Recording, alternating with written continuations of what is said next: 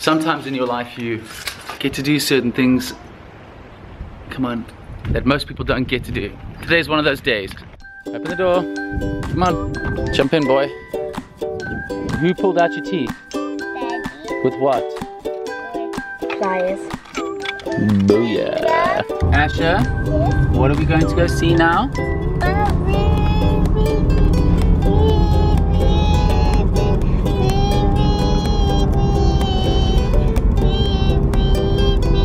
We're gonna see penguins. Okay.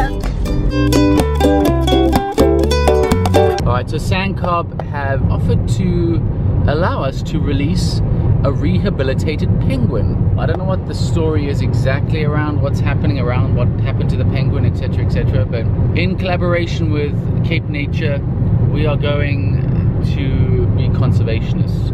Anna, Yeah. you get to release the penguin with me. Elijah, you get to have lots of sweets.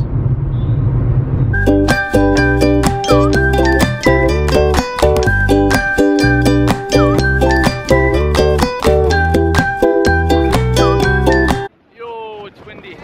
So, Anna and myself have been allowed to release a penguin, and uh, this penguin story is particularly interesting. But we're gonna go meet him first. All right, so here's here's our penguin. He's in there. What's up, buddy? What's up? This little penguin that we have here, Frank. Frank almost had his head cut off, and so SANCCOB and Cape, well, Cape Nature found him. SANCCOB fixed him up, and within three weeks they had him here. That was three weeks ago. Three weeks, eh? Yeah, Yeah. three weeks, unbelievable. Three weeks. SANCCOB took to fix this little guy up and now we're releasing him. The way that it was before is we're gonna show a picture now. It's pretty graphic, so if you're queasy, turn away right now.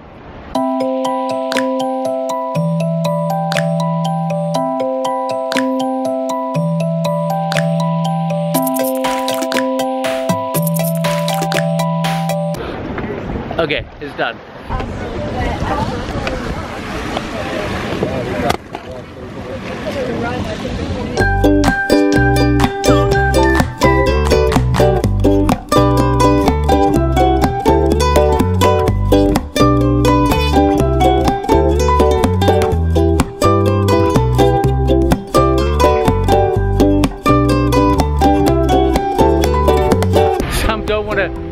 Want to leave. They want to come back to the to the beach.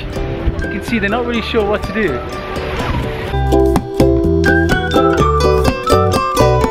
What do you think, my girl?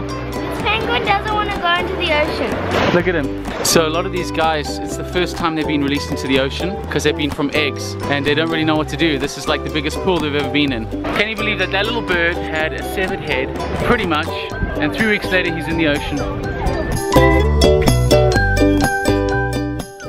Really important the work that SANCCOB are doing. They've asked me to mention that the plastic rings that you guys have for like beers or whatever it is, when you throw them away or when you recycle them to cut them, um, I've left their details below if you want to go don donate to, to SANCCOB. Uh, they do amazing work. Thank you so much to Cape Nature as well for everything they've done. Thanks for watching guys. Share this video and raise awareness around kind of the penguins and the help they need and uh, their population's dwindling. And this is the only colony that's actually growing. Share it, like it, peace out.